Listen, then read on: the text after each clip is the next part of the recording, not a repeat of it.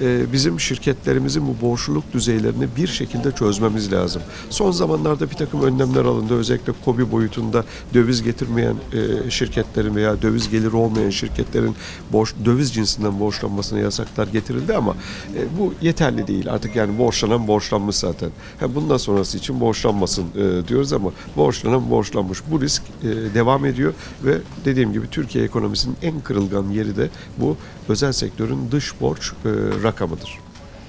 Bu videonun tamamını Deha Plus YouTube kanalından izleyebilirsiniz.